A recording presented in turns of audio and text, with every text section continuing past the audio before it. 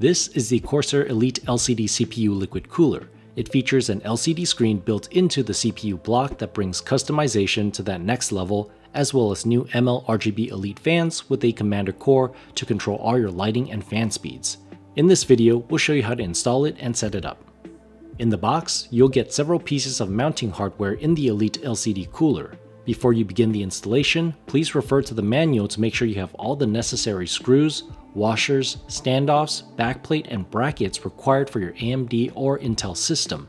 First thing you'll need to do is prepare your motherboard socket.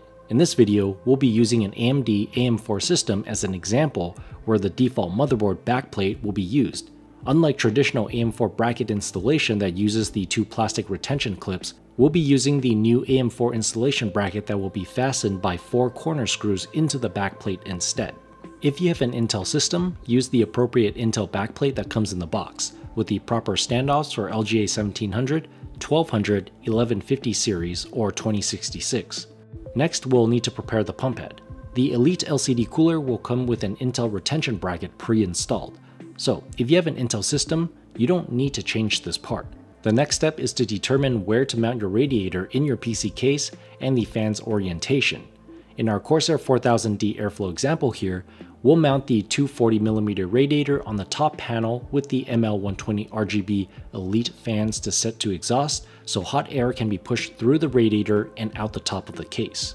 Something to keep in mind throughout the following steps. Make sure your CPU block is clear of anything that may touch or ruin the pre-applied thermal paste since you won't have the plastic cover on it. Using the longer 30mm screws, we're going to secure the fans onto the radiator first. Once you have everything physically installed, turn on your PC and dive into the iCUE software for some customization setups. You can create different profiles that allow you to control and set the PWM fan speeds, RGB lighting as well as the lighting effects. You can customize the screen of your Elite LCD cooler, in Screen Setup, you can pick from a number of preset screens and tweak the monitoring info and colors. You can also load a custom image or animated GIF. And that's it for the Elite LCD Cooler. Thanks for watching.